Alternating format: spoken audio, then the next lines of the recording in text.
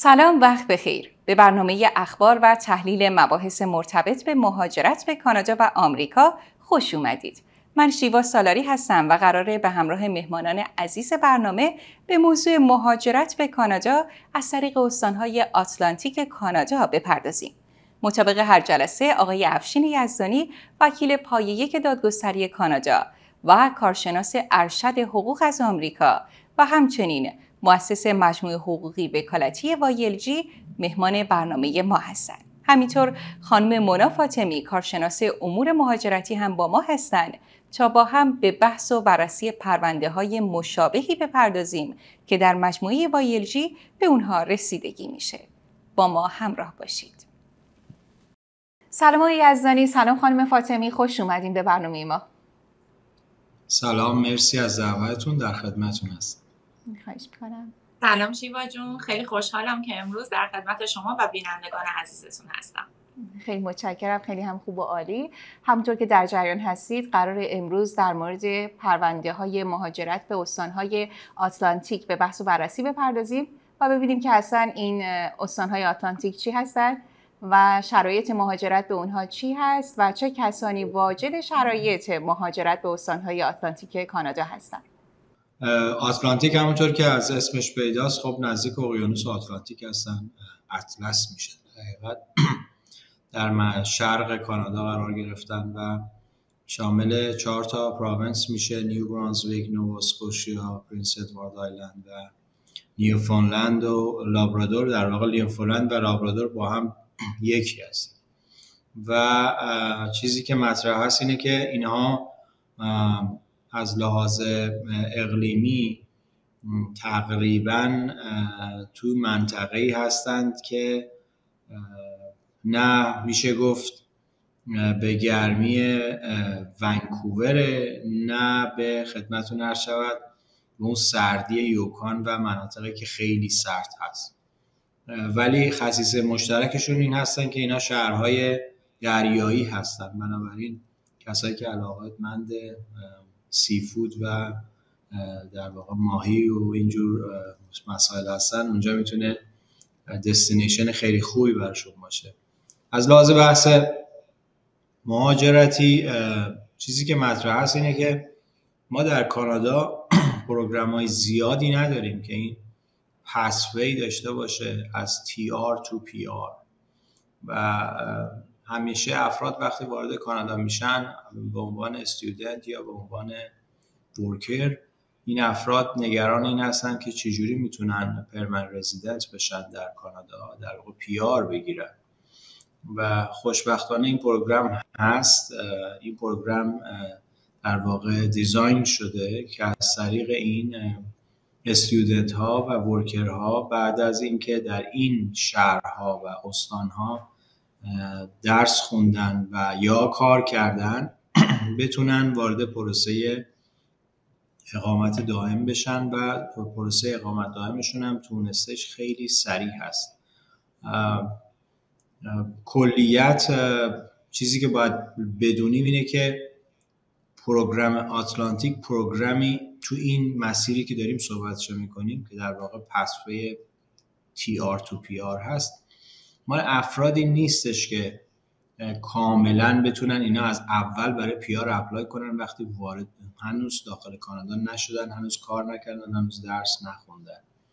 این program به درد افرادی می‌خوره که پلن کنن. متوجه هستیم ما مدت هاست الان از تقریبا سال 2016 به این ور من تمام کارهایی که دارم انجام میدم به غیر از استارتاپ تمام category های دیگه که ما داریم انجام میدیم ابتداعا فرد با ویزای کار وارد کانادا میشه و بعد وارد پروسه PR میشه منتها program ی که صحبتش میشه مثلا ما اصولا زیاد انجام میدیم PR ش از طریق Express Entry هست و pathway هم نیست. pathway یعنی مسیر design شده ای که از اول داره مهاجرت کانادا روش برنامه ریزی کرده. متوجه این مسیری که الان داریم صحبتش می‌کنیم یه پسوی هست.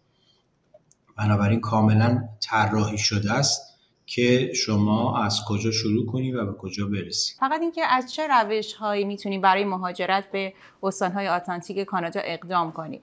موضوعی که مطرح است شیوا جان اتلانتیک خب دست کتگوری پروگرام های متنوعی حالا چند های هست. منتها اون چیزی که ما امروز می‌خوایم بیشتر بهش در واقع تمرکز داشته باشیم صحبت سر این هستش که پایلتیه. که وقتی یک اینترنشنال استودنت درس می‌خونه توی این استان ها یا ارزم بزرگ شما افرادی میان کار می‌کنن در این استان ها اینها بتونن برسن به پیار بر اساس مسیر از قبل دیزاین شده. متوجه شدید؟ بنابراین بله. ما به بقیه کتگوری ها کاری نداریم. ما یه چیزی رو می‌خوایم امروز صحبت بکنیم که فرد بیاد میگه خب امروز شما حتما می‌دونید اینترنشنال استودنت وقتی وارد کانادا میشه به طور مثال شروع می‌کنه درس خوندن بعد از فارغ و تحصیلیش بهش ویزای کار میدن. با اون ویزای کار میره تو اکسپرس انتری. مونا جان همونطور که می‌دونین ما تعداد زیادی اینترنشنال استودنت هر سال وارد کانادا میشه. اینا بعد از فارغ التحصیلیشون بهشون ویزای کار میدن. و این ویزای کار open work permit باهاش می‌تونن کار پیدا کنن. اگر کار مرتبط پیدا بکنن می‌تونن وارد سیستم Express Entry بشن به عنوان CEC یا Canadian Experience Class. و اگر این اتفاق بیفته منتظر میشن که invitation to apply یا دعوتنامه PR بگیرن. این افراد معمولا نمی‌گیرن. دلیلش هم اینه که امتیازشون امتیاز حد نصاب نمی‌رسه تو Express Entry و نکته ای که حالا مطرح هست اینه که ما یه آلترنتیوی از این طریق این program داریم پیش بینی میشه. آلترنتیو چی هست؟ میگه international student به جای که بیاد بره تو هر جای کانادا که دلش می‌خواد حالا بره درس بخونه بره توی استانهای آتلانتیک درس بخونه. که در این حالت بعد از فارغ و تحصیلیش می‌تونه وارد پروگرام پی آر شه. و این باعث میشه طرف آرامش فکری داشته باشه. متوجه هستین؟ چون شما در نهایت اقامت دائمت گرفتی بعد اقامت دائم هر جای کانادا می‌تونی بری. نیاز نیست حتما اونجا باشی. در این حال درست خوندی و بقیه. از اون طرف این مسیر برای ورکرها هم هست. یعنی شما میای تجربه کار کانادایی به دست میاری ولی تجربه کار کانادایی رو توی استانهای به خصوصی به دست میاری که آتلانتیک باشن. که در این حالت شما مسیرتون به سمت پیار آسونتر هست. و حالا خصایصش رو بعدا در موردش صحبت می‌کنم. ولی به نظر من یکی از بحث که بحث خیلی مهم مهاجرتی هست اینه که شما وقتی وارد پروسه اقامت دائم میشی و می‌خوای مهاجرت کنی به کانادا فقط بحث ورود به کانادا مهم نیست. بحث رسیدن به PR خیلی مهمه. بنابراین باید روش پلن ریخته بشه که چجوری شما این کار رو انجام بدید صحبت که ما الان داریم اینه که شما بیایید برید توی استانهای نیو برانزویک، نوواسکوشیا، PEI یا Prince Edward Island یا نیوفانلند شاید ایدئال نباشن. شاید مثل ونکوور یا تورنتو شهرهای بزرگ آنچنانی نباشن. ولی شما بعد یه درس خوندن بعد از اینکه فارغ التحصیل شدید یا بعد از اینکه یه سال تجربه کار به دست آوردید می‌تونید وارد سیستم های در واقع پایلتش بشید برای رسیدن به پی آر جناب آقای یزدانی ممنون بابت توضیحاتتون. سوالی که خیلی از افراد می‌پرسن در رابطه در رابطه با این برنامه این هستش که آیا محدودیت سنی داره و زبان بالایی می‌خواد؟ چون خودتون شما مثلا ایرانی ها خب مشکل زبان دارن. و این شرایط خب شاید یه شرایط ایدئالی باشه براشون. ولی این دوتا سوال همیشه از من پرسیده میشه. از لحاظ شرایط سنی چیز خاصی توی کتگوری اتلانتیک پیش بینی نشده. پنج تا شرط مطرح شده که من پنج تا شرط رو بهتون می‌تونم اینجا مطرح کنم اعلام بکنم. شرط اولش اینه که شما تجربه کاری داشته باشید و این تجربه کاری در واقع experience کاری باشه در province در واقع در یکی از این شهرها در یکی از این استانها. موضوع دوم اینه که یه مینیموم تحصیلاتی لازم هست که باز اونم در مورد جداگانه من صحبت می‌کنم. موضوع سوم بحث مینیموم زبان هست. بحث چهارم داشتن حداقل پول هست و عرضم به حضور شما داشتن job offer. بنابراین پنج تا شرط اصلی دارن برای اینکه شما بتونید تو مرحله PR apply بکنی برای بحث PR متوجه هستین؟ حالا من از لحاظ experience فقط صحبتی که مطرح هست اینه که تو تجربه کاری صحبتی که هست اینه که میگن شما باید تو پنج سال گذشته یک سال کار کرده باشید از لحاظ work experience از لحاظ تحصیلات یک سال تحصیلات دانشگاهی هست یا حتی تحصیل دیپلم هست. بر اساس اینکه شما توی یک کدوم NOC category قرار گرفته باشه. اگه position ات مربوط به شغل مدیریتی باشه یا مدار TEER one باشه حالا بعدا در مورد این TEER بهتون یه ذره بیشتر توضیح میدم. ولی اگر تاپ رنک باشن یک سال تاثیر در واقع دانشگاهی و اگر تا تاپ رنگ نباشن حتی تحصیل در حد دیپلم می‌تونه کفایت بکنه برای این کار. متوجه شدم. مونا جان شما صحبت اینو کردید که بعضی از مراجعینتون خب زبانشون ضعیفه و خب به این نوع مهاجرت علاقه مندن سوال من اینجاست که معمولا چه افرادی برای این مدل مهاجرت به شما مراجعه می‌کنن؟ ببینید به نظر من افراد خیلی دانش و آگاهی زیادی از بابت روش های مهاجرت ندارن و من فکر می‌کنم یکی از تأثیر گذارترین افرادی که متقاضیان رو روشن کرده در رابطه با مسیر مهاجرت. خود جناب آقای یزدانی هستن. وقتی که در رابطه با شرایط مشخصی صحبت میشه خب افراد می‌تونن به قول معروف خودشون رو در جایگاه اون افرادی بذارن که موفق شدن و به نتایج مثبتی رسیدن. و من فکر می‌کنم که بیشتر اشخاصی که حالا یا تحصیلی بیشتر مد نظرشون هست یا کاری. یعنی این دوتا در بیشترین متقاضی هستن. ببین اصل... جان سوال من این بودش که اصلا چه افرادی دوست دارن که به آتلانتیک کانادا مهاجرت کنن؟ اصلا چرا آتلانتیک کانادا؟ به خاطر اینکه دغدغه پیار شدن رو ندارند و خیلی از افرادی که میان و تو پول اکسپرس انتری به قول معروف گیر می‌کنن خب هدفشون این هست که پیار بگیرن. و من فکر می‌کنم آتلانتیک یکی از این موقعیت های بسیار طلایی هست. یعنی اگر هوشمندانه بخوایم فکر بکنیم می‌تونیم مسیر مهاجرتی آتلانتیک رو انتخاب بکنیم. متوجه شدم. آقای یزداری مزایای استفاده از این روش چیه؟ به نسبت سایر روش های مهاجرتی شیوا جان همونطوری که مسئله مطرح هست مزیت اصلیش اینه که مسیر پیار شما تعریف شده است. مزیت دومش این هستش که شما تو بحث در واقع این پایلت برای کسایی که وارد از طریق چه ویزای کار باشن چه دارندهای ویزای کار باشن چه کسایی که تحصیل کردن این افراد سطح زبانی که لازم دارن وارد سیستم این پروگرام بشن اگر ناک های شغلیشون تیر 0 1 2 or 3 باشه یعنی یعنی حتی از, از شغل های top rank مدیریتی top rank تا حتی متوسط که اصطلاحا حالا low semi-skilled هم باشن.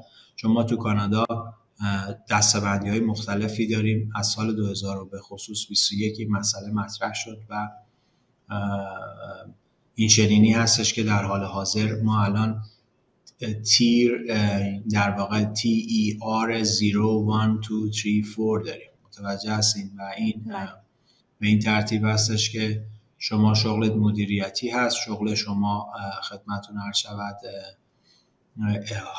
در واقع skilled هست یا semi-skilled هست یا low skilled هست نکته که حالا مطرح هست اینه که توی این پایلت حتی اگر شما شغلت مدیریتی باشه حتی اگر شغل شما skilled worker باشی همچنان NOC 5 لازم داره. در واقع ببخشید CLB 5 CLB 5 یعنی آیلز 5 لازم داره. بنابراین شما تو Express Entry با آیلز 6 می‌تونی بری. ولی تو این سیستم می‌تونی با آیلز 5 بری. تازه اگه low skill باشه طرف skill مثلا چه می‌دونم کسایی که واقعا تو category شغلی خیلی پایین تری قرار گرفتن. برای همین مدرک تحصیلی دیپلم می‌بینی کافیه براش. در واقع طرف اومده اینجا درس خونده. مثلا بچه رو داری میفرستی اینجا درس بخونه.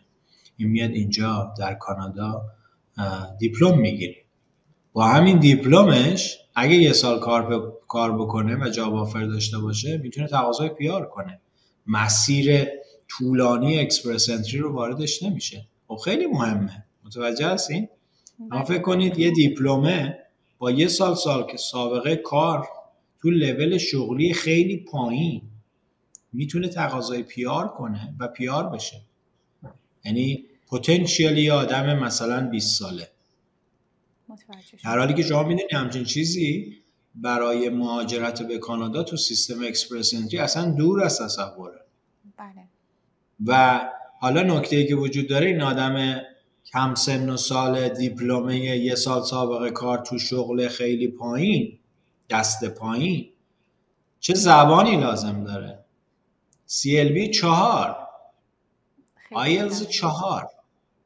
بنابراین من چیزی که دارم صحبتشو می‌کنم اینه که بچه های بفرستین درس بخونه. خب به جنگ بفرستین منکوور تورنتو یا جای دیگه بفرستین استانهای آتلانتیک. که اونجا اینا بتونن راحت برسن به پیار بعد پیار اتفاقی که میافته چی میشه؟ دعوتنامه میدن به خانواده خانواده میاد. بعد می‌تونن اسپانسرشون بشن. به همین سادگی متوجه هستین به به planning خیلی قشنگ منتها. از اون طرف تو بحث worker ها هم همین مطلب هست. فقط نکته ای که باید در نظر بگیرید چی هست؟ اینی که برای این program این حتما بایستی عرضم به حضور شما job offer داشته باشه. این فرد. یعنی اینجوری نیستش که شما فقط درس بخونی یا کار کنی و بعد بیای بگی آقا به من PR بدین. Job offer لازمه. ولی تصور اینو بکنید که job offer توی این پنج تیپ classification ی که وجود داره چقدر ساده است پیدا کردنه. شما می‌تونی بری توی Tim Hortons کار کنی و تقاضای پیار کنی. شما می‌تونی بری کشیر بوتیک شی مغازه گروسری استور شی و تقاضای پیار کنی. شما می‌تونی بری تو سابوی ساندویچ رول کنی و باز تقاضای پیار کنی. متوجه هستی؟ نیاز نیست حتما بله. شغل آنچنانی داشته باشی. در نتیجه مطلبی که مهم هست اینه که مثلا ما الان تو کتگوری که انجام میدیم client owner operator ه به طور مثال. این اومده با C11 یا حتی ICT وارد کانادا شده. این می‌خواد برای رسیدن به PR از طریق Express Entry حرکت کنه دیگه. که در طریق Express Entry خب باید آیلز 6 بگیره که آیلز 6 برای خیلی از موکلای ما همیشه مسئله بوده. بله. اینا میان چیکار می‌کنن؟ من توصیه اینه که بیاین از آتلانتیک حرکت کنین. چرا؟ برای اینکه علاوه بر خودت همسر اینها معمولا open work permit می‌گیرن. وقتی همسرشون open work permit می‌گیرن این همسر می‌تونه هر تا کار خیلی cheap ی رو بگیره توی اون استانها و شهرها. و بر اساس اون job که داره وارد سیستم در واقع پایلت در واقع آتلانتیک بشه برای PR خودشون هم می‌تونن منتها یه سری شرط و شروط هست. که از جمله اون شروط اینه که job offer رو نباید از شرکتی بدن که خودشون مالک عمدهش هستن. معمولا تو ICT مسئله زیاد مهم نیست ولی تو بحث owner operator هم یه solution ی وجود داره که میشه روش حرکت کرد و طرف رو از majority shareholder بودن آورد بیرون. که ناگفته نماند این خصیصه توی سیستم PR Express Entry هم وجود داره. یعنی چیز خاص این پروگرام نیست. اگر شما به عنوان C11 وارد کانادا میشی بعد یه سال می‌خوای وارد سیستم Express Entry بشی باید ترتیب ownership مالکیت شرکت یه جوری design شده باشه که شما مالکیت تو تو map که داری برای PR apply می‌کنی مالکیت عمده شرکت مال خودت نباشه و الا self-employed محسوب میشی. گفته نماند در اون حالت شما اگر self-employed بشی توی Canadian Experience Class یا CEC eligible نمیشه ولی همچنان رو Federal Skilled Worker eligible هستی هر صورت نمی‌خوام بحث رو پیچیده کنم امروز موضوعی که مطرح کردین امتیاز این امتیازات که می‌تونم بهتون بگم. و خیلی چیز مهمی هست. چیزی که جالب هست اینه که هندی ها چینی ها بسیار از این پروگرام دارن استفاده می‌کنن. ولی ایرانی ها یاد گرفتن فقط فقط اینه که student رو بفرستن بدون که به stage بعدش نگاه کنن. یا حتی ویزای کار می‌گیرن میان بدون اینکه توجه بکنن چجوری PR شن. خیلی از موارد به ما مراجعه می‌کنن میگن که شما fee شما مثلا دو برابر fee سایرینه. خب fee اونهایی که نصف ماه هست آیا fee ویزای کاره یا fee ه که شما رو حتما به PR برسونه؟ متوجه هستیم. مال موکلین هستن که در office ما رو می‌زنن میان تو همین امروز ما این جلسه داشتیم برای موکل. که موکل با حقوق 125 هزار دلار در سال ویزای کار گرفته برای خودش. به عنوان self self در واقع self-employed 125 هزار دلار کانادا حقوق سالیانه. می‌دونید یعنی چی 125 هزار دلار کانادا حقوق سالیانه؟ یعنی 60 هزار دلار مالیات به اداره مالیات بدید و خب این آدم consultant یا اون مشاوری که براش پرونده رو انجام داده چقدر ازش گرفته؟ اصلا بگو مجانی براش گرفته این کار رو. این 60 هزار دلاری که این وسط سبز شده رو چجوری می‌خواد کاور کنه؟ متوجه هست اینا چیزایی هستش که بحثایی هستش که باید طرف پلن کرده باشه و بدونی داره چیکار می‌کنه. بحثای مهاجرتی بحثای حساسی است برخلاف اینکه عده تصورشونه که چند تا فرم پر میشه و اینا میره کنار هم و نتیجهش میشه یه اقامت دائم اصلا همچی چیزی نیست. حتما باید planning وجود داشته باشه و خوشبختانه این پروگرام آتلانتیک به نظر من یک پروگرام ایدئالی هست به خصوص برای بچه که می‌خوان بیان در کانادا درس بخونن. مونا جان شما معمولا این روش رو به متقاضیانتون پیشنهاد می‌کنین؟ صد درصد ما تمام روش هایی رو که در نهایت می‌دونیم که باعث آرامش خیال client ها میشه قطعا بهشون معرفی می‌کنیم.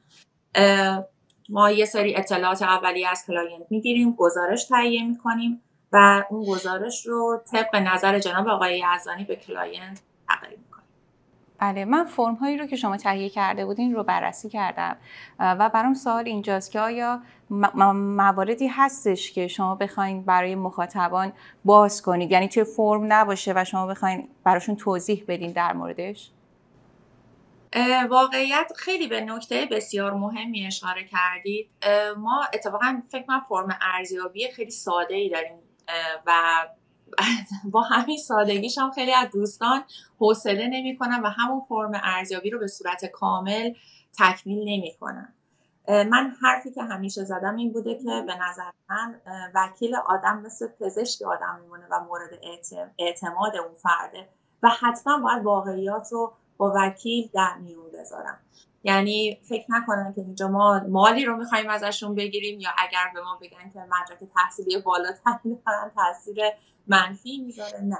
همه اینها به ما کمک می‌کنه که بهترین مسیر رو براشون مشخص کنیم. مرسی. آقای عزاری مسئله زمان برای کسایی که می‌خوان مهاجرت کنن خیلی مهمه. این پروسه منتظر بودن جواب اومدن. در مورد این مهاجرت به استانهای آتلانتیک چقدر باید منتظر جواب باشن؟ خدمتون هر شاید پروسه خب ویزای تحصیلی یا ویزای کار که مثل پروگرام های دیگه است تنها تفاوتش اینه که فرد داره میره به یه استانهایی به خصوصی و تو این استانهایی به خصوص هم می‌تونه خدمتون هر شود. حتی پروسش سریعتر و قویتر باشه به خاطر اینکه به هر حال این مناطق به آبادی مناطق تورنتو یا حالا ونکوور امثال هم نیستن. متوجه هستید در وقتی شما تقاضای ویزای تحصیلی می‌کنی برای این مناطق یا تقاضای ویزای کار می‌کنی معمولا دیدگاه داره مهاجرت مثبتتر هست نسبت به اینکه شما به شما ویزا صادر کنه. بنابراین این خودش یه تاثیر مثبت هست رو پرونده. موضوع دوم اینه که روزی که اومدید تجربه کار به دست آوردید و درس خوندید در کانادا حالا یا درس خوندید یا کار کردید در این حالت وارد پروسه پایلت میشید. پایلت هم یه سیستم اکسپرس خیلی تندی داره. که معمولا تو فاصله 6 ماه طرف رو میرسونه به اقامت دائم. در نتیجه از, از هر چیزی مهمتر به نظر من شیوا موضوع سر اینه که کی واجد شرایط است و چه شغلی باید داشته باشه. آیا سیستم پایلت مثلا اکس آتلانتیک point base نه این یک حسنه. متوجه هستی؟ مثلا اینجوری نیستش که اگه شما دکترا داشته باشی امتیازت بیشتر باشه. یا اگر شما آیلز 8 داشته باشی امتیازت بیشتر. امتیازی نیست اصلا. در انجا یه مینیمومایی رو خط کردن گفتن این مینیموما رو باید انجام بدین اگه دارین بیاین بهتون پیار بدیم. به خاطر همین علاوه بر بحث زمان بحث این هستش که شما توی این فاصله زمانی کوتاه با مینیموم ها می‌رسی به پیار. و همونطور که گفتم بهترین و این مسیری هم که مطرح هست تو بحث های مهاجرتی دولت کانادا مدت هاست که در حال حاضر تمرکز گذاشته روی یعنی که افراد با ویزای تحصیلی یا ویزای کار وارد کانادا بشن. متوجه هستین؟ و بله. بعد از اون به پیار برسن. مستقیم تقاضای پیار نتونن بکنن. برای چی دان... بر... به چه دلیل دولت کانادا علاقمنده که شما با ویزای تحصیلی یا ویزای کار بیای وارد کانادا بشی و بعد تقاضای پیار کنی؟ از توی کانادا. خب من فکر می‌کنم یکی از نکات مثبتش این هستش که اولا که خب وقتی که یک دانشجو میاد خب اولا اینجا که هم به مدرک کانادایی دست پیدا می‌کنه نیروی کارش مشخص میشه از لحاظ اقتصادی به دولت کانادا کمک می‌کنه و همه اینا باعث میشه که بعدش چون به هر حال یه سری امتیازاتی کسایی که پیار دارن دارن که خب افرادی که مثلا با ویزای موقت میان ندارن. و همین باعث میشه که من فکر می‌کنم به اقتصاد کانادا خیلی کمک بکنه. صد درصد. بحث فرهنگی هست اقتصادی هست آشنایی با زبان این مملکت هست بحث کمک به منابع مالی این مملکت هست. بنابراین دولت کانادا تلاشش این بوده همیشه بوده. حالا یه پروگرامی مثل آتلانتیک اومده این قضیه رو شیرین هم کرده. یعنی اومده گفته آقا من خودم یه موکلی داشتم رو پروگرام آتلانتیک پروگرام جدیدی هم نیست شیوا جان این چیزی که داریم صحبتش می‌کنیم پرنده قدیمی هست. من یه موکلی داشتم روی از پرنس ادوارد آیلند تو پروگرام آتلانتیک مربوط به سال 2017 این این فرد یه آقایی بود هندی بود و پیار شد. از طریق در واقع با سرویس من به PR رسید. و این آدم تو سابوی کار می‌کرد. سابوی ساندویچی سابوی. بله. متوجه هستین؟ و یه مدرک کالج داشت. با یه سطح زبان فکر کنم اگه اشتباه نکنم پنج. آیلز پنج. و بعد خانوادهش آورد. همه الان اونجا جمع متوجه هستین. اینا چیزایی هستش که مردم ایرونی ها به خصوص بهش توجه نمی‌کنن. شما دنبال چی هستی؟ بعدش به اقامت دائم رسیدی بعد می‌تونی هر جای دلت خواست بری. تو این فاصله فکر کن کارآموزی کردی فکر کن این کار تریاد گرفتی. فرقی نمی‌کنه. فکر می‌کنین واقعا فکر می‌کنین به نظر به نظر من واقعا مثلا نواسکوشیا یا نیو برانسویک یا حالا حتی جای دیگه خیلی فرقی با مونتریال و کبک نمی‌کنه. از لحاظ آب و هوایی حتی. متوجه خب اینجا پیش میاد که پس چرا شرایطش آسون تر از حالا تورنتو یا مونترال یا هر دلیلش دلیلش اینه که در کانادا استانها اجازه دارن مهاجرین خودشون انتخاب کنن. اون استانها چراغ سبز دادن به اداره مهاجرت. گفتن ما این آدما رو می‌خوایم بیان. ما جمعیتمون کمه. جمعیتمون رو زیاد می‌خوایم بکنیم. در نتیجه پروسه رو آسانتر کردن. در کنار این ناگفته نماند. من یه چیزی هم باز که صحبت کنم. تک تک این استانها خودشون باز program داخلی دارن. یعنی علاوه بر اینکه به صورت مشترک این program آتلانتیک رو همشون می‌تونن ازش استفاده کنن کسایی که تو این شهرهای استانها هستن علاوه بر این افراد می‌تونن از program خود اون استان هم استفاده کنن. مثال پروگرامی وجود داره در نواسکوشیا که من اصلا عاشق این پروگرامم شخصا. و مطمئنم هیچ کس نه خبر داره نباش کار کرده.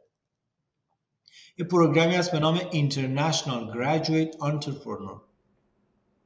International Graduate Entrepreneur اسمش روش هست. به چه معنیه؟ ترکیبش ترکیب اسمیش اینه که یک آدمی هستی. دانشجویی فارغ و تحصیل شدی تو نواسکوشیا و کارآفرینی. اصلا نمی‌خوای برای کسی کار کنی می‌خوای برای خود کار کنی. یعنی فکر کن یه بچه 20 ساله. به طور مثال. این آدم نواسکوشیا بهش پیار میده. خصایصش چی هست؟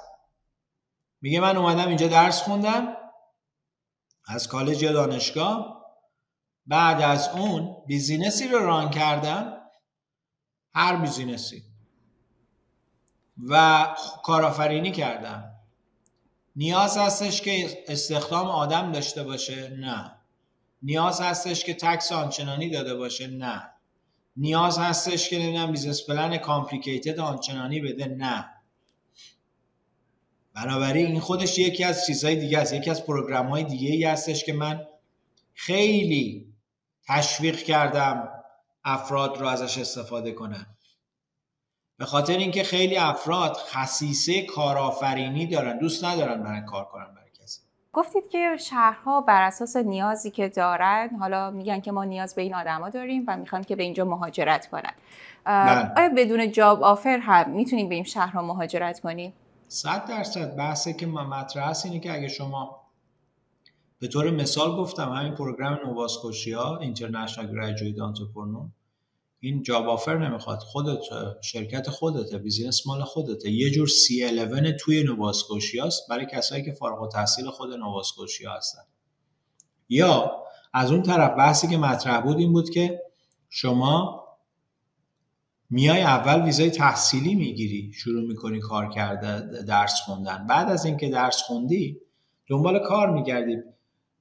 بلا استثنا کسایی که در کانادا درس می‌خونن یا ویزای کار می‌گیرن دنبال کار میگردن. همین افرادی که الان اوپن ورک پرمیت رو پابلیک پالیسی هم گرفتن دنبال کار میگردن. برای چی ویلا ویزای کار گرفتن؟ حالا نکته ای که مطرح هست اگه شما بدونی دنبال کاری بگردی و هر کاری پیدا بکنی eligible ت می‌کنی که PR apply بکنی خب بیشتر میگردی و این کار مهم نیست خیلی کار پیچیده ای باشه. من دارم بهتون میگم شما می‌تونید مثلا گارسونی کنی چون وقتی چهار تا پنج تا skill هر پنج تاش با هم ست شده متوجه هستین؟ هر لولی کاری که داشته باشی تو هر دسته کار کرده باشی الیجیبله در نتیجه باز دارم میگم مشکلی که ما الان داریم بیشتر توی به خصوص جامعه ایرانی خیلی بلک اند وایتیم آقا این هست این هست این هست. نه این نیست. 50 60 تا پروگرام مهاجرتی وجود داره و این 50 60 تا program مهاجرتی می‌تونه واقعا وضعش جذاب باشه به شرط اینکه پلن کرده باشی حالا به طور مثال شما اومدی شرکت رو ثبت کردی تو تورنتو. می‌تونی بری تو این program استفاده کنی؟ نه. چرا نمی‌تونی؟ به خاطر اینکه already اومدی تو تورنتو. یعنی اینکه اینجا داری زندگی می‌کنی. بنابراین باید قبل برنامه ریزی کنی. اگه شما اومدی مثلا در ونکوور درس خوندی می‌تونی بری تو این program؟ نه. به خاطر اینکه شما تحصیلاتت مال ونکووره مال BC ه بریتیش کلمبیا مال یه استان دیگه است. بنابراین نکته ای که وجود داره همیشه منم باش مخالفت داشتم این بوده که این شاخه اون شاخه نمی‌تونی بپری وسط راه.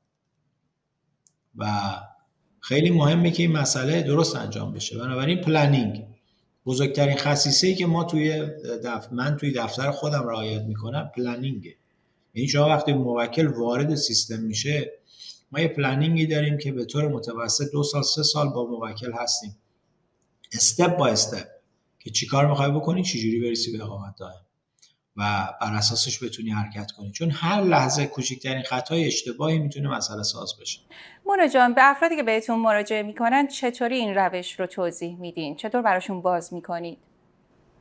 ببینید طبق تحقیقاتی که من خودم به شخص در رابطه با این روش کردم و البته با راهنمایی آقای یزدانی به این نشه من یعنی چیزی که هست این هستش که خب اولا مهمترینش همین مسئله پیارش هست و اینکه در این منطقه حدودا 20 هزار فرصت شغلی وجود داره که نیروی کار مناسب پیدا نمیشه و برای همین در از گرفتن مهاجر رو در این مناطق آسانتر می‌کنه. پس یه جورایی خودمون منطقه داره اشتیاق خودش رو برای پذیرفتن مهاجر نشون میده. و خود این می‌تونه نکته بسیار مثبتی باشه. مشاغل خیلی مختلفه.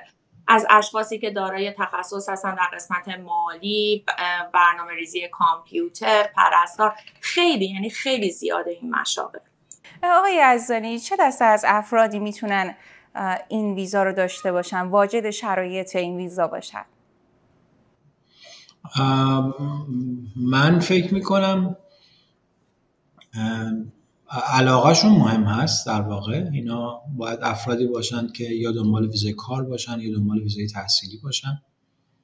منتها موضوعی که مطرح هست اینه که برای ویزای تحصیلی قاعدتا پذیرش لازم دارن از یکی از مراکز آموزشی اون شهرها و اون استانها. و بقیه مسائلی که مربوط به ویزای تحصیلی میشه. از اون طرف بحث ویزای کار روش هایی که در حال حاضر داره انجام میشه بیشتر از طریق حالا ما از طریق C11 یا حالا C61 مثلا انجام میدیم. افراد با ویزای کار وارد کانادا میشن و پروسه PR رو از داخل کانادا دنبال می‌کنن. بنابراین من معمولا چیزی که وجود داره که client وقتی وارد سیستم میشه ما ازش می‌خوایم کل اطلاعات رو به ما بده. ما بر اساس کل اطلاعاتی که دستمون هست اون چیزی که لازم هست رو به client recommend می‌کنیم. در واقع میشه consultation مشاوره دادن به client که چه program ی می‌تونه برای شما خوب باشه مناسب باشه و ازش بخوای استفاده کنید برای ارزم به حضور شما رسیدن به اقامت دائم. بنابراین حقیقتا اگه بحث استودنت باشه هر سنی می‌تونه باشه. حتما یه بچه کم سن نیست می‌تونه آدم سن و سالدار باشه. منتها چیزی که من از بیننده های شما می‌خوام اینه که دقت داشته باشن. هدف شما چی هست؟ به نظر من هر کسی که وارد کانادا میشه اولین چیز باید درست بکنه بحث اقامت. مسائل هم می‌تونه انجام بشه. یا حداقل پلن دقیقی براش داشته باشه. متوجه هستید و به این ترتیب بر اساس این program به طور مثال می‌تونه program ی باشه که حلال مشکلات خیلی باشه. شما یه نکته هم در نظر بگیرید. شما اگه قرار باشه توی کشوری یه سال درس بخونید یا دو سال درس بخونید ماکسیموم. بر اساس program آتلانتیک یک سال یا دو سال هست. و بعدش بهت ویزای کار بدن و بعدش بتونی PR بشی.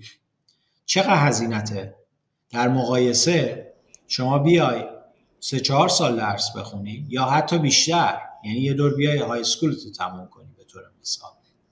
بعد بیای وارد دوره های کالج دانشگاهی بشی بعد تازه work permit بهت بدن. با اون work permit تازه هنوز نتونی تو سیستم Express Entry بشینی و این مدت بگذره ازش. ما افرادی رو داریم حتی تو شرکت خودمون با ویزای کار هستن اینا. یه چیزی هورش پنج سال تو کانادا هستن.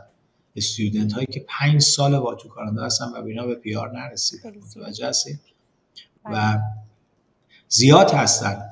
یکی از حرفای جالبی که بود من تو مونتریال که زندگی می‌کردم قدیم یه نفر پرسیدم که شما مدرک تحصیلی چیه؟ ما یه, یه گروهی داشتیم باشون حرف می‌زدیم همیشه. همه اینا همیشه PhD بودن. یعنی همشون لول های تحصیلیشون مستر پی اچ دی مستر پی اچ دی بعضیشون دو تا PhD داشتن. بعد من به اینا می‌گفتم بعد به این آقای پرسیدم ازش این آقای کبکی بود ایرونی کبکی بود. یعنی بچه‌ای بود که مثلا در 7 ده ساله که بوده با خانوادهش اومده بود در کبک مونتریال. هیچ گفتم مدرک تحصیلی چیه؟ گفت مدرک تحصیلی من لیسانسم. گفتم ای لیسانس؟ چه چجور شد؟ چرا ادامه ندادی؟ گفت خب من مثل شما مثل اینترنشنال استودنت ها مجبور نبودم بیشتر درس بخونم. متوجه بله. خیلی موضوع مهمیه. یعنی یعنی شما مجبور میشی به عنوان یک استودنت هی درس بخونی پول بدی شهریه بدی. بله. خودت نگه داری توی این مملکت. ادامه بدی من یه مثال دیگه یه موکل بود از مصر بود. و آفیس من مراجعه کرده بود ساکن تورنتو. این آدم دانشجو دکترا بود. با همسرش هشت سال بود تو کانادا بود. سه تا بچه کانادایی داشتن فقط. پیار نشده بودن. امتیازشون نمی‌رسید. این مسئله هست. متوجه هستین؟ حالا نکته که مطرح هست که شما می‌تونی از طریق یک مشاوره درست و راه درست مسیر پیارتو خوب تعریف کنی. و برسی به پیار. چون در کانادا غیر ممکنه شما شانسی تخیلی به پیار برسی. معمولا متقاضیان شما با چه مشکلاتی روبرو هستن توی این برنامه؟ اولین مشکل مشکل بودجه دارن معمولا. مسئله مالی دارن. و بحث مالیشون یه مطلب هست که می‌خوان حداقل هزینه رو داشته باشن. موضوع دومشون بحث زبان هست. که اینها با نمره پایین زبان آیلز بتونن وارد سیستم PR شن. و اکثر program که من روشون کار می‌کنم این در واقع سعی می‌کنیم این مسئله رو توجه کنیم بهش. منتها الان من بخوام دسته کنم program ها رو اتلانتیک میشه program economy بله. یعنی میشه stage business نیست stage ش economy ه یعنی لولش علاوه خرج و مخارجی مثل اینه که شما به جای مرسدس بنز بری هیوندای سوار ولی برسی به ولی برسی در مورد اکانومی برای ما توضیح بدی. منظور من این هستش که شما دستبندی های ویزاها رو که نگاه کنید در کتگوری ها هستن خیلی پرخرج مثل استارتاپ. بله. مثل کارآفرینی خیلی پرخرج یه سری category ها هستن که وسطن. یعنی نه خیلی خرجشون بالاست نه کم خرجن یه سری program هم هستن که اینا کم خرج هستن. مثل این program ها. program مثلا آتلانتیک. این program کم خرجه. یه سری هم هستن که zero خرجن. و اونا چیه؟ البته خیلی تشویقش نکردم هیچ وقت. اونم بحث این هستش که طرف میاد اینجا میره وارد مقوله پناهندگی اینا میشه. ولی کرد اون هم side effect داره. به طور مثال طرف چند سال نمی‌تونه از کشور خارج بشه مسافرتش محدود میشه بحث های report کردنش به سازمان هست به حتی ایران خیلی موقع خبردار میشه بعدا نمی‌تونه رفت آمد بکنه.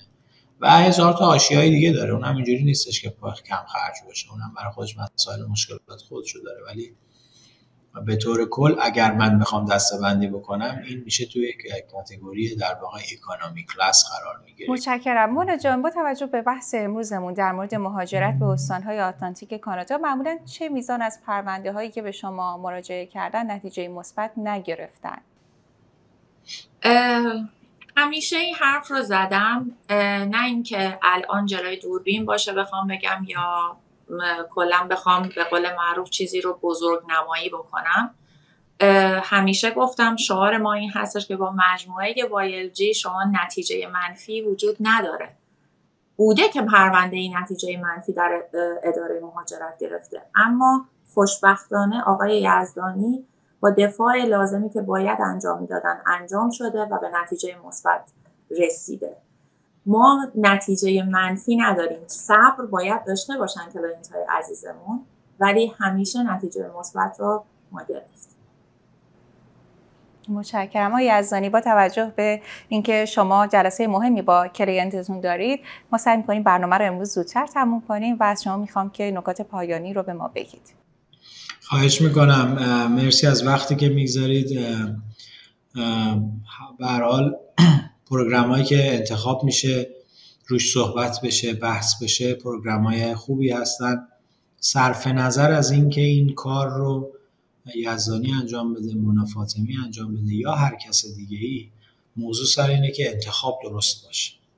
ما حرفمون بیشتر سرمون بحثمون سر در حقیقت اطلاع رسانی هست آگاهی دادن به مردم هست. تا اونجایی که باشه به حال به عنوان یک وکیل ما صرفا برنامهمون این نیستش که موکل بگیریم درآمد داشته باشیم. فقط این نیست. متوجه هستیم ما در کنارش به عنوان یک وکیل قسم خورده در واقع کانون وکلا وظیفه داریم که سطح دانش عمومی رو برسونیم به سطح بالایی توی در واقع مسائلی که مردم باید بدون و از اون طرف پروگرام آتلانتیکی هم که مطرح کردیم پروگرامی هستش که همونطور که گفتم بر اساس تجربیات خودم اگر کسی بخواد واقعا یه پلن دقیق و پایلت داشته باشه. پایلت یعنی که گفتم مسیر از پیش تعیین شده کاملا حساب شده. می‌تونه به خصوص برای دانشجو برای کسایی که میان در کانادا دونن چه تو مقطع زیر دیپلم چه مقطع بالای دیپلم می‌تونه پروگرام خیلی جذاب و خوبی باشه. ما اکثریت دانشجوهایی که تو کانادا درس می‌خونن بچههایی که میان حتی تو مقطع دیپلم معمولا اینا سعی می‌کنن رو پای خودشون بایستن و یه درآمدی تو کانادا داشته باشن که فشار به خانواده هاشون نیاد. و وقتی یک استانی یک منطقه میاد به شما میگه شغل هست بیاید اینجا شغل هست می‌تونید زندگی کنید می‌تونید پیار شید خب بعد از فرصت استفاده بشه. این چیزی هستش که من حتما به همه تشویق می‌کنم. در کنار این این استان ها این چهار تا استان خودشون program های داخلی خودشون هم دارن و این program های داخلی خودشون شامل حالا کارآفرینی میشه شامل سرمایه گذاری میشه شامل skilled worker میشه شامل international student میشه. اینا category داخلی خودشون هم دارن. فقط حواستون باشه بسیاری از استان ها program ها کسایی که می‌خوان پرونده رو represent بکنن به اون استان حتما باید register باشن توی اون استان. و وکلا کسایی که وکیل پایه هستن معمولا این exemption رو دارن نیاز ندارند که registration انجام بدن. نکته خیلی مهمی که وجود داره اینه که اگر شما اومدی توی استان برای تشکیل دادن بدون اینکه اسمی از وکیل یا مشاور توش وجود داشته باشه بدون که اون فرد اجازه فعالیت تو اون استان نداره. برای همین اومده تشکیل پرونده رو به نام خودت داده. متوجه هستین؟ این یکی از بحثای خیلی کلیدی هستش که وجود داره. چون من تعداد زیادی از افراد رو می‌شناسم تو استانها پروگرام استانی کار می‌کنن و تشکیل پرونده میدن برای موکل. بدون اینکه خودشون رو معرفی کنن. ایمیل برای موکل درست می‌کنه اسم مشخصاتش رو درست می‌کنه پروفایلش رو درست می‌کنه. خودش access داره به اون account ولی به نام موکل ایراد اینه که شما ممکنه بلایی سرت بیاد و شما خبردار نشی. متوجه خیلی چیز خطرناکی است. به خاطر اینکه شما عملا اومدی یه پرونده برای تشکیل شده نتیجهش هم منفی شده بدونی که تو تو جریان باشی. خاطر همین دقت با کی دارید کار می‌کنید برنامه هاتون چجوری هست و نظارت کافی داشته باشید به این مطلب و حواستون باشه که خدای نکرده موزل برای خودتون درست نکنید. خیلی متشکرم. ممنون آقای افشین یزدانی. مرسی از اینکه وقت گذاشتید و توی برنامه ما شرکت کردید. ممنون مناجات ممنون از شما که توی این برنامه شرکت کردید و خب درباره موکلینتون برای ما توضیح دادید. مرسی. خواهش می‌کنم. مرسی از به پایان برنامه رسیدیم. ممنون از شما که همراه ما بودید. امیدواریم مطالبی که ارائه شد براتون مفید بوده باشه. هر جمعه ساعت 8 شب به وقت ایران و 12 و 30 دقیقه بعد از ظهر به وقت تورنتو به صورت زنده در خدمت شما عزیزان هستیم. در طول هفته هم می‌تونید سوالاتتون رو به شماره واتساپی که در زیر صفحه می‌بینید ارسال کنید. تا هفته بعد و یک برنامه دیگه بدرود.